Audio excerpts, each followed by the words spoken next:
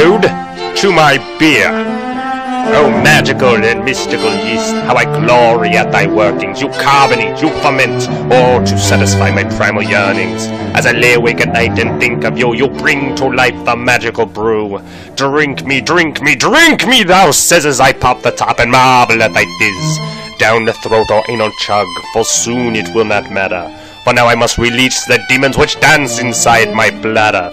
My speech is slurred, my balance is off, my legs begin to quiver. For now I think I hear a pop, oh damn, it was my liver. And now I pray to a different god, one I call American Standard. I wrench, I purge, I projectile vomit. Is it me, man, or am I hammered? Light pale ales, nutty brown lagers, creamy Irish stouts. It is all to the same end, my friend, for now I am passed out.